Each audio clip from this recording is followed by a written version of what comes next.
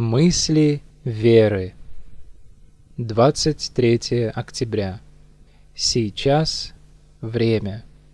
Мы же, как споспешники, умоляем вас, чтобы благодать Божия нечетно была принята вами.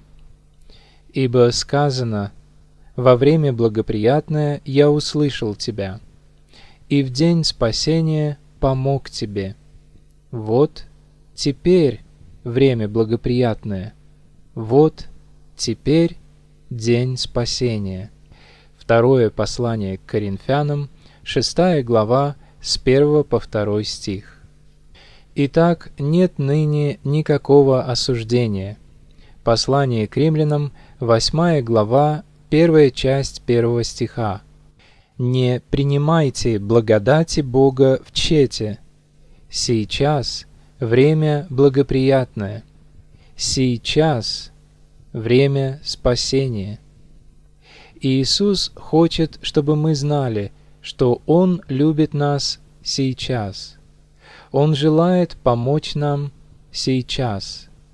Нам не нужно сейчас бояться. Просто веруйте сейчас.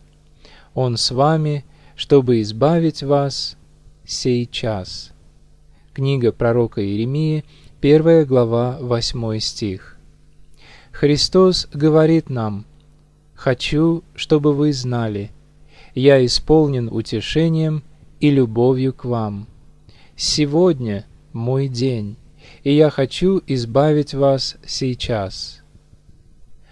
О Господи, спаси же! О Господи, споспешествуй же! Псалом 117, 25 стих.